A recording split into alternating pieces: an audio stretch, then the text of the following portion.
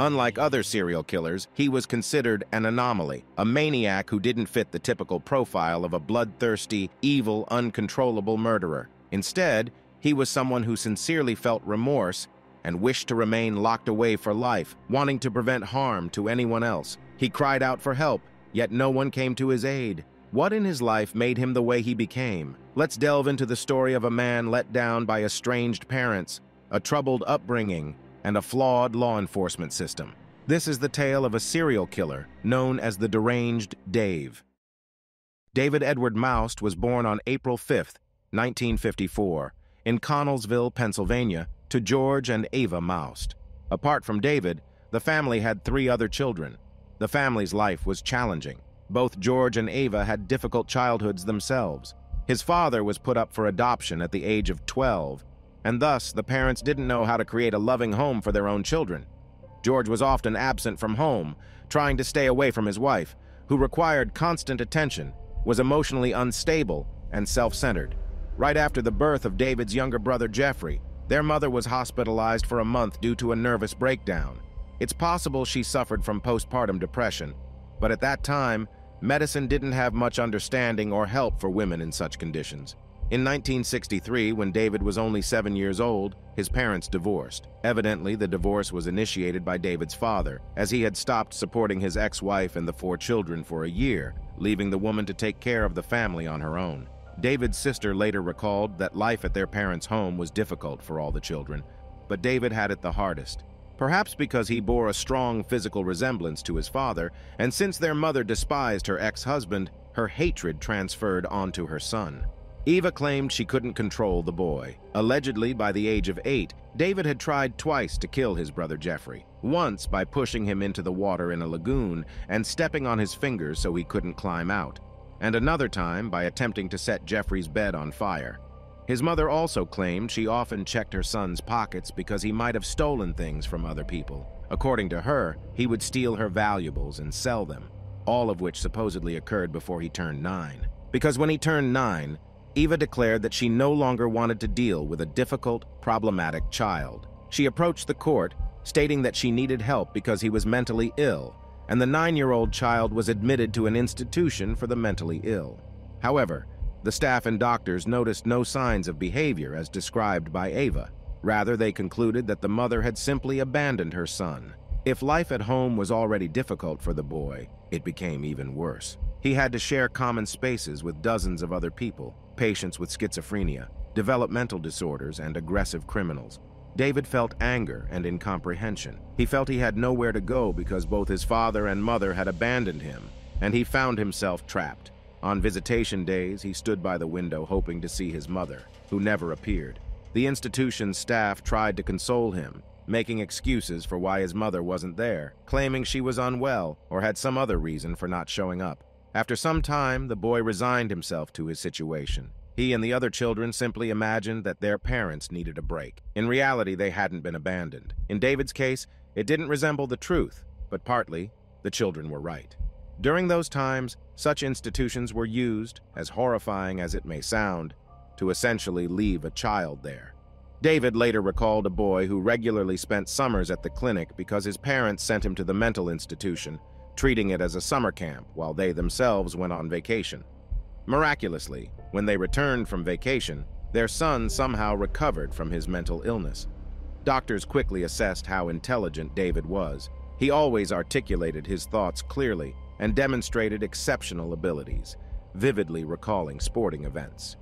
Because of this, the medical staff soon suspected that it was Ava, David's mother, who suffered from a mental disorder, not her son. They waited for her to get better so they could send David back home. However, every time they tried to organize the child's return home, his mother rejected him.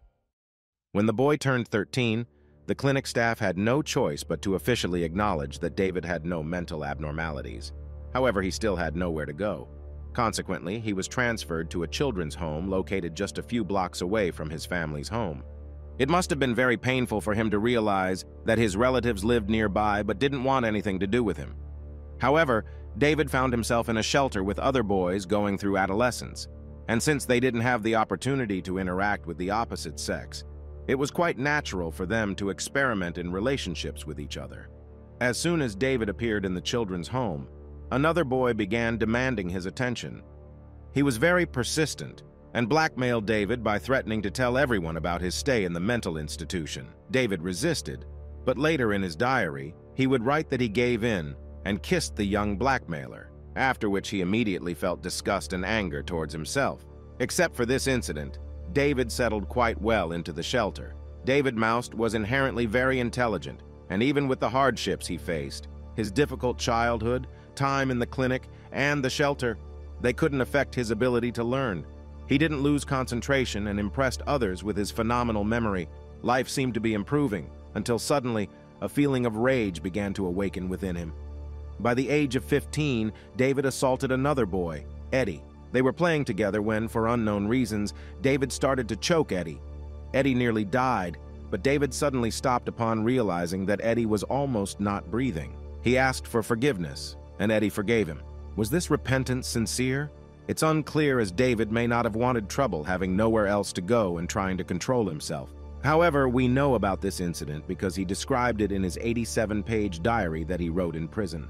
Nonetheless, his self-control did not last long, as David soon attempted to strangle another boy, Daniel. They were in a room together, simply watching TV, when David grabbed a rope and wrapped it around Daniel's neck.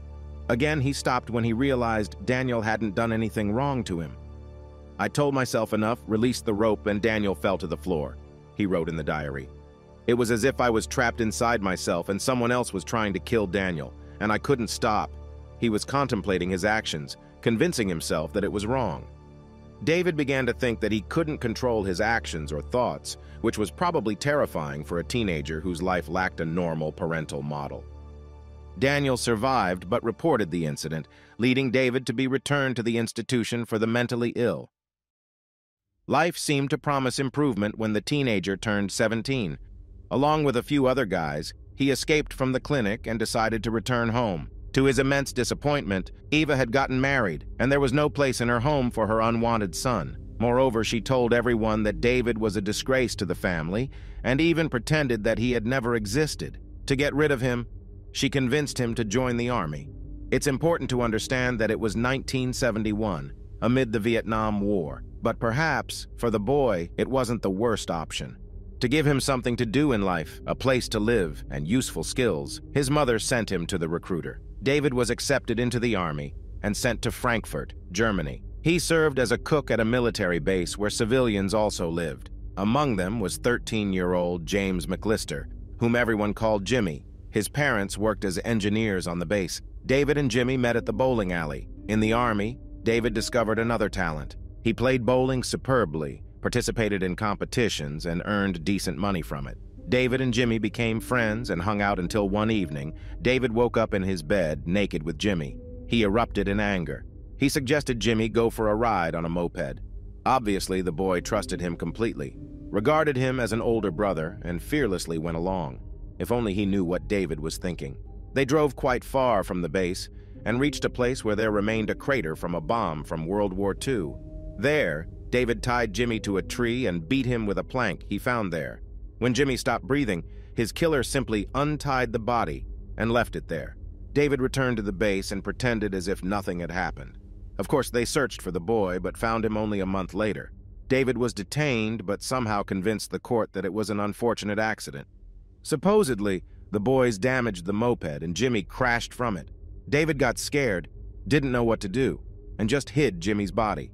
He was believed there was no evidence of murder, and David was sentenced to three years in prison. Interestingly, in prison, David behaved perfectly, earned a diploma, wrote to his family every week, and acquired new useful skills. His behavior was so exemplary that he was allowed to be considered for early release on parole, but he declined the offer. The young man began to understand what he was capable of and was afraid to be free. In confinement, he had plenty of time to reflect on what he had done, and he realized that if he were released, he would definitely kill someone else. He despised himself for such thoughts and feelings because they caused him revulsion. His lawyer later called him one of the most remarkable serial killers because he had a conscience. He felt sorry for killing people, sorry even until the moment when he killed again. He hated himself for what he had done. However, the thirst for murder returned, and he succumbed to it, killing again. It's a very peculiar pattern of behavior. Nevertheless, he was released in 1977 when he turned 23 years old. Two years later, he settled in Chicago and befriended a teenage boy. Well, befriended is how it seemed. But sometimes when the boy stayed overnight, David had the desire to stab him. After another evening when they drank and the teenager fell asleep on the couch, David gave in to this uncontrollable urge. He stabbed him in the abdomen with a knife, almost disemboweling him, but the teenager survived. David was tried for attempted murder. On the witness stand, he lied, and he was found not guilty. What he said to make them believe him remains unknown. Perhaps he had another talent, being devilishly convincing when necessary. By the age of 27, David had failed to learn how to control his desires.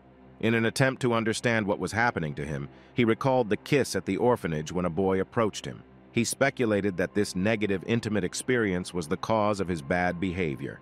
Therefore, he decided to find that boy, now a man, and kill him. He believed that by doing so, he could put an end to his destructive tendencies and desires. Thus, he set out on a hunt to direct his rage toward this man.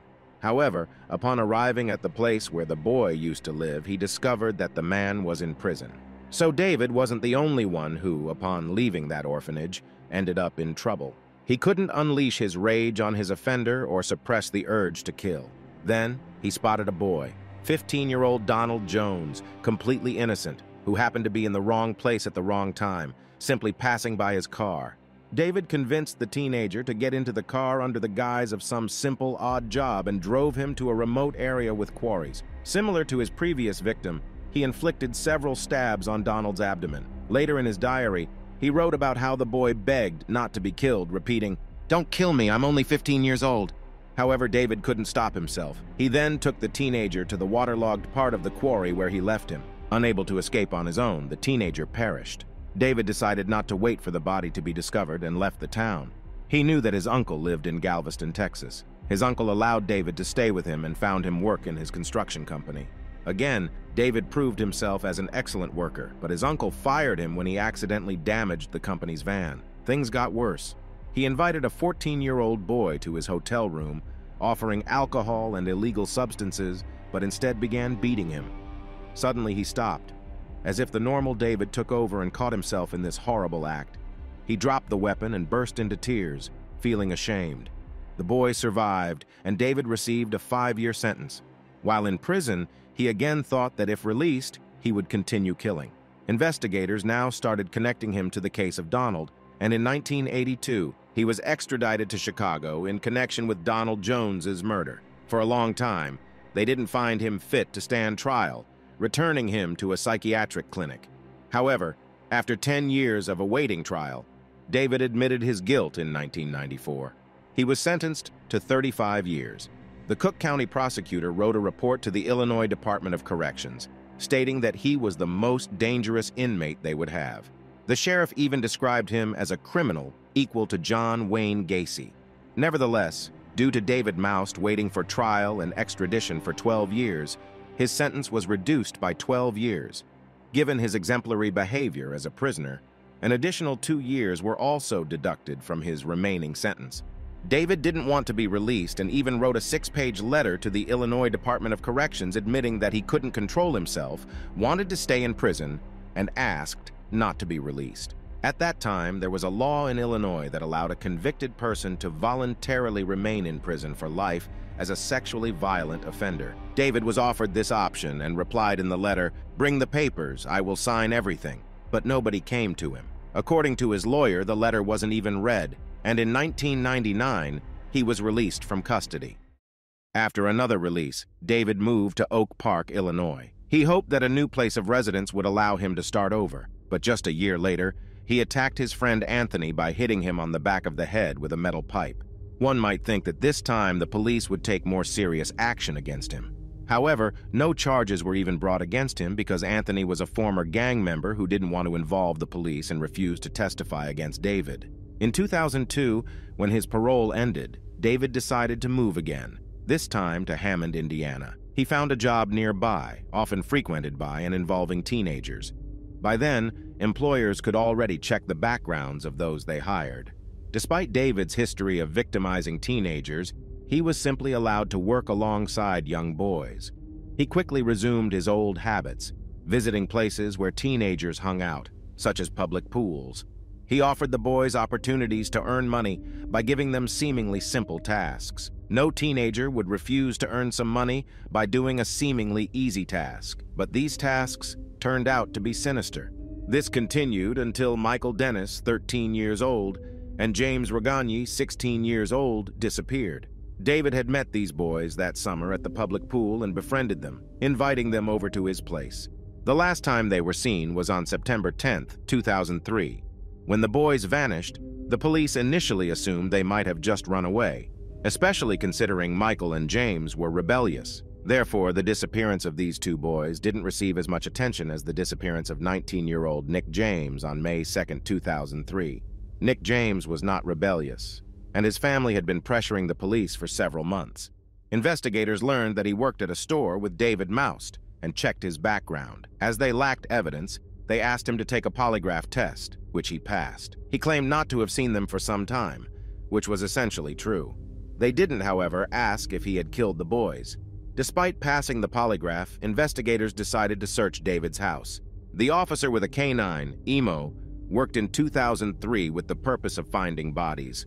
The police invited the dog and its handler to search David Maust's basement.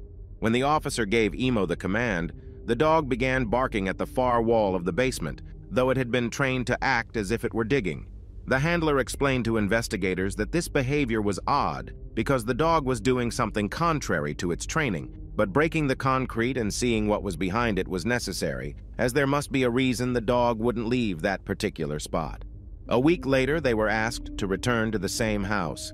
Officers drilled a deep hole in the floor and found nothing. They circled to another side, drilled a longer hole, yet still found nothing. So they gave up. They asked them to return again with the dog. This time, Emo immediately approached the hole and lay down. The officer couldn't capture this on video and asked the handler to command the dog again. Then the dog moved to another hole and lay down once more. Police brought in a concrete specialist and found out David had used an enormous amount of concrete, around 80 bags or so. Obviously, this was done to hide something, presumably bodies. Finally, the police removed the concrete and found three bodies. David had suffocated James and Michael in his apartment and buried them under the basement with Nick. Suddenly, David's mother and brother, who had not spoken to him for many years, appeared. Jeffrey gave many interviews, questioning whether what happened could have been prevented if the police had paid attention to David earlier. He spoke about terrible things that his brother allegedly did in childhood, but he had no evidence. Moreover, his mother and brother, who had not communicated with David for many years, seemed to thirst for fame and Jeffrey even wanted to write a book. His attorney, Thomas Wayne, stated that David was indeed a serial killer, but he wasn't born one. The attorney sincerely believed that if someone sought the recipe for creating a serial killer, then his childhood was precisely that. He never learned to live in society or communicate with other people. In November 2005, David pleaded guilty to the murders and was sentenced to three life imprisonments. In January 2006, at the age of 51, David passed away. A note was found in his cell where he confessed to five murders, including three in Hammond. He wrote how disappointed he was not to have been sentenced to death because he felt he deserved it. He believed that if he had been kept away from society, he wouldn't have committed as many crimes as he did. Additionally, he didn't want taxpayers to pay for his existence. He asked for forgiveness from the victims' families and took responsibility for everything he had done. He didn't blame his parents or upbringing, only himself. David wrote that he loved his family, but they never reciprocated.